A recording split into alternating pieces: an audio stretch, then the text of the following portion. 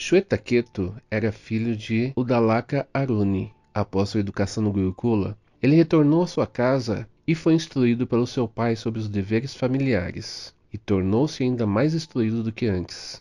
Shwetaketu sempre se considerou um sábio entre todos. Uma vez ele decidiu ir à Assembleia de Panchala. Lá na Assembleia, o príncipe Kshatriya Pravahana se dirigiu a ele e disse: Você teve educação completa, meu querido?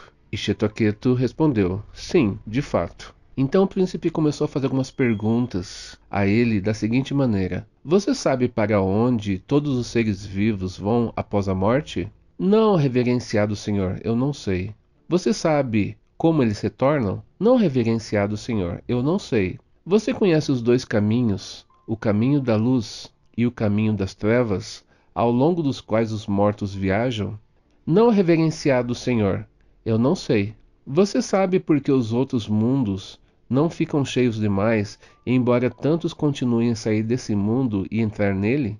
Não, reverenciado Senhor, eu não sei. Você sabe como a matéria elementar do quinto estágio da oblação se torna o Purusha ou a entidade viva? Não, reverenciado Senhor, eu não sei. Então, como você ousa dizer que sua educação está completa? Você parece não saber nada sobre esses assuntos. Shetaketa ficou angustiado e sentiu-se humilhado com isso. Então ele retornou à sua casa e perguntou ao seu pai, o Dalaka: Venerável pai, você me disse que me instruiu muito bem, mas quando o príncipe Pravahana fez suas cinco perguntas, acredite, eu não consegui responder nenhuma delas. Como então você me disse que eu era suficientemente educado? Dizendo isso a seu pai, Shetaketo então narrou toda a história sobre as cinco perguntas e seu constrangimento na Assembleia dos Panchalas. O Dalaka, o pai amoroso de Chetaketo, ouviu tudo com atenção e respondeu: Acredite em mim, meu filho, eu não sei nada sobre nenhuma dessas questões. Se eu tivesse esse conhecimento, você acha que eu reteria de você? Dizendo isso a seu filho, o Dalaka decidiu ir à Assembleia dos Panchalas para aprender sobre o conhecimento com o príncipe Pravahana. No palácio de Pravahana, o Dalaka foi recebido com muito respeito.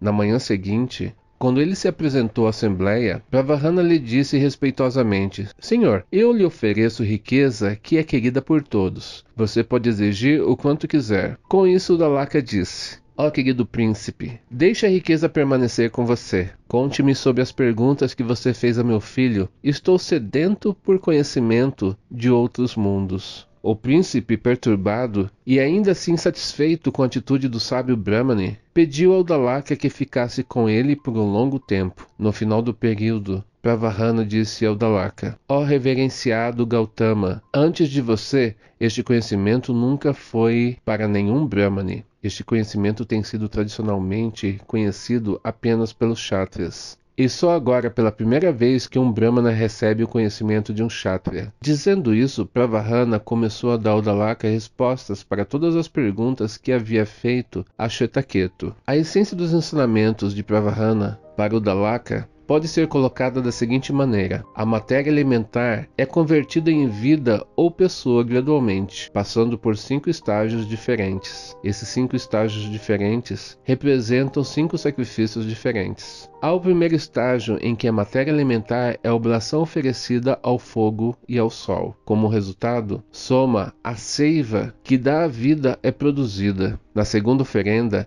este soma é derramado em Parjanya, o poder que traz a chuva. Isso resulta na própria chuva. O derramamento de chuva sobre a terra é o terceiro sacrifício que resulta em comida. Quando o homem consome a comida, ela é digerida como um quarto sacrifício, e as retas ou fluidos vitais são produzidos. Essas retas assumem uma forma diferente no homem e na mulher. E quando a reta do homem se une à da mulher, como quinto sacrifício nasce um embrião e daí uma criança. O corpo físico do homem se desenvolve nos elementos que o contribuíram, mas do destino da alma depende das ações realizadas do conhecimento adquirido. Aquele que alcançou o verdadeiro conhecimento espiritual sempre pelo caminho da luz e não retorna à existência terrena. Aquele que não tem conhecimento ou tem conhecimento parcial segue o caminho das trevas e cai no eterno ciclo de nascimentos e mortes e sofre. Assim, alguns vão para o mundo de Brahman e outros retornam. Alguns vão para o céu e permanecem lá por um longo tempo, e retornam à terra para completar seus trabalhos. E assim outros são apanhados no ciclo sempre recorrente de nascimento e morte. E por isso é que o outro mundo nunca está cheio demais. Em suma, este é o conhecimento da vida e da origem, do destino da alma e da morte, transmitido pelo rei Kshatriya Pravahana Audalaka,